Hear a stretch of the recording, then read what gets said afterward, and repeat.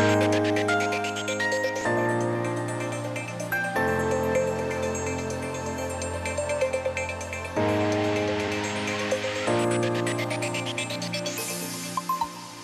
يتوقع خبراء هيئة الأرصاد الجوية أن يسود غدا السبت طقس مائل للبرودة نهارا على القاهرة الكبرى وجنوب الوجه البحري وشمال الصعيد بارد على السواحل الشمالية الغربية وشمال الوجه البحري والسواحل الشمالية الشرقية ووسط سيناء.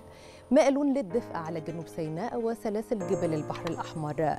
دافئ على جنوب الصعيد ويسود ليلا طقس شديد البرودة على كافة الأنحاء. وهذه درجة الحرارة المتوقعة غدا على بعض المدن والمحافظات.